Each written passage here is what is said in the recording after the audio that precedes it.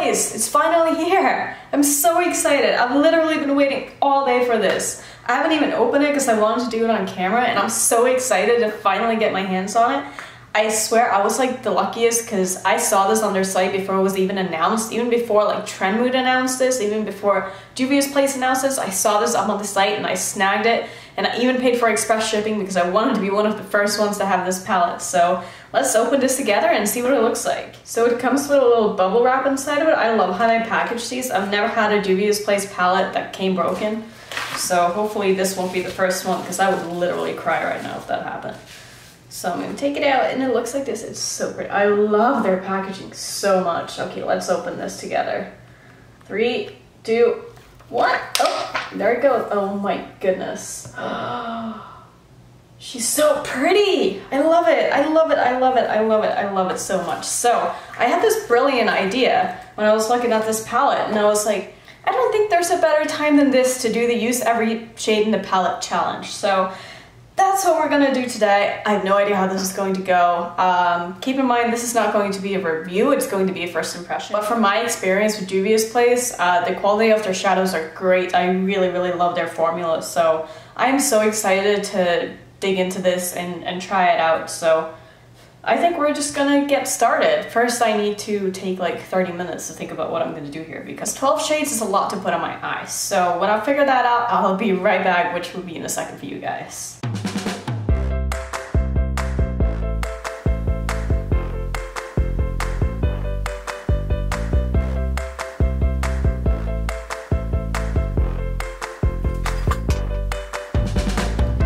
Think I have a plan. So what I'm gonna start off with, I'm not gonna tell you what my plan is yet, and you're just gonna have to follow along and uh, take it as it goes with me. So I'm gonna use Kisi down here as my transition shade.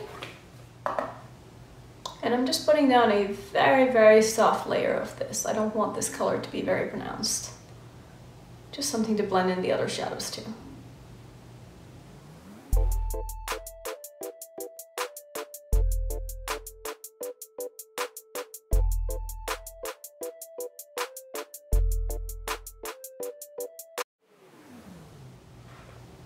Next up I'm taking this 10S brush from Inglot and I'm going to be dipping into the green and putting that in my first half as another transition shade.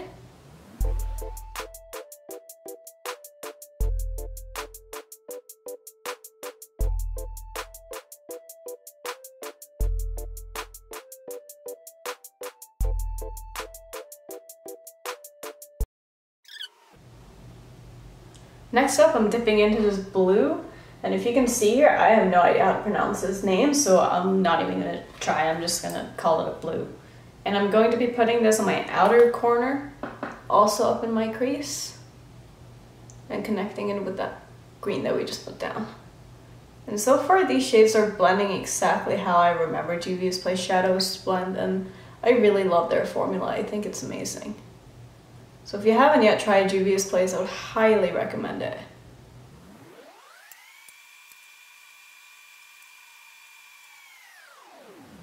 So originally my plan was to do a cut crease, but I'm actually leaning against that now.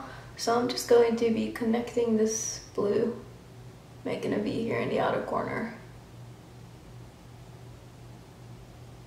And this blue is awesome.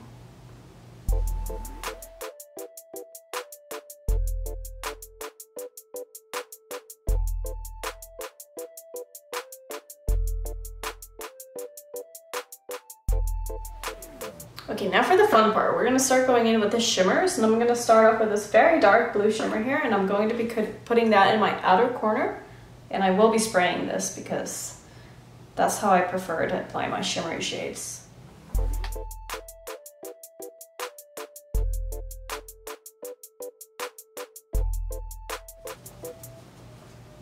Next, using the same brush, this is a MAC 242S. I'm gonna be going in with this dark green up here and I'm gonna put that in the middle of my lid.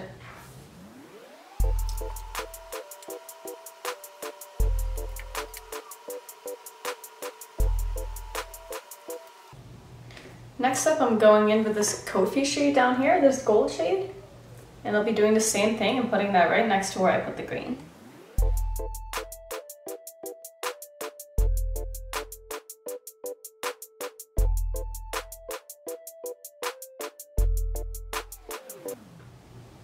Next up, I'm going to take Angelique, this really pretty shade down here, and I'm going to be doing the same thing.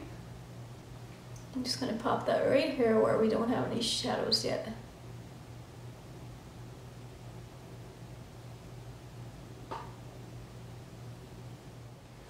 Now for a little bit of fun, I'm going to take this yellow shade, I think it's called Aya, and I'm gonna put that a little bit, not really in my inner corner, but more so right here up to my brow bone and it kind of connected to the blue.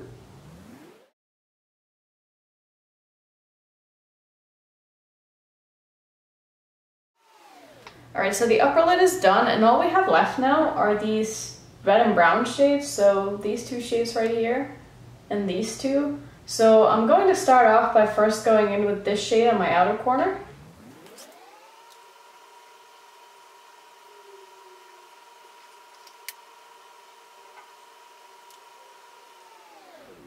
Next up I'm going in with Cameron, the shade right here, and I'll be putting that in the middle.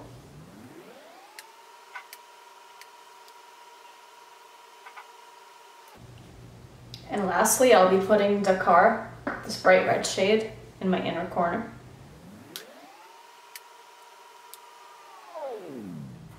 And for my last shade, I can't actually believe this is my last shade and it's gone as well as it has. I'm gonna take Fifi Fi Fi, which is a shimmery shade, and I'm going to take this on a very flat brush, and I'm going to pack this color right along my lash line.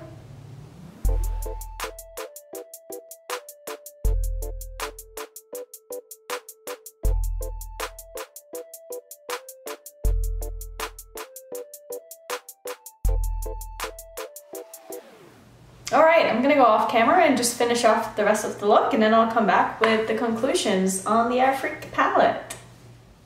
So here's the finished look. I put on a little bit of winged liner, some mascara, and then I popped this Wet n Wild pink pencil in my waterline and I really think that made a big difference. So Honestly, I'm really happy with how my look came out. I'm really happy with this palette. I think the shadows perform just as good as they always do. If you want to see more videos like this, maybe more challenges, let me know what you want to see down in the comments. I'm very new to the YouTube game, so you know, I'm open to doing pretty much anything. And since I don't have a lot of subscribers yet, you know, if you leave a comment, there's more of a chance that I'm gonna end up doing what you tell me to do. So yeah, thank you so much for watching. I really hope you enjoyed it. If you did, please give it a thumbs up. Maybe subscribe to my channel if you like my content. If not, no worries. But thank you so much for watching. I hope you stick around and I will see you in my next one. Bye.